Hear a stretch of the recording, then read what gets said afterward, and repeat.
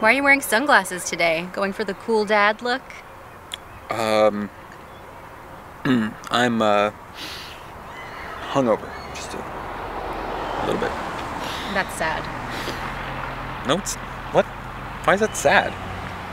Anytime you're hungover over the age of 30, that's just sad. All right, well, you don't know what you're talking about because you have no idea the like awesome, truly epic, amazing time that I could have had last night. Was it amazing? It's fine. I'm imagining something with pizza. I messed up some pizza. Yeah. And you don't feel just the tiniest bit guilty for not being fully present for this time with your son today? I am 100% present and functional and accounted for for... Yeah, I lost my kid.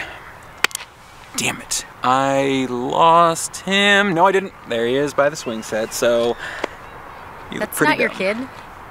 That is 100% my kid. That kid is Indian. Shit. Oh. Oh, I lost my goddamn kid. Again. Again. Every single weekend. What? Um.